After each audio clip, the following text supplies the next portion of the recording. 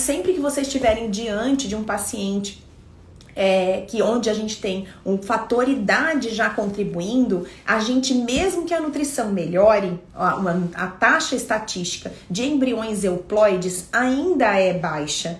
Quando a gente passa principalmente ali dos 38, 39 anos, o ponto de corte é aos 40 anos. Então, se essa paciente tem condição financeira de uma fertilização in vitro, a taxa de sucesso é muito mais alta. E aí vocês têm condições de produção de um embrião euploide, a nutrição pode ajudar muito. Então, trabalhar com profissionais médicos na fertilização, né, ter este contato é muito interessante, é muito importante e pode ajudar essa sua paciente.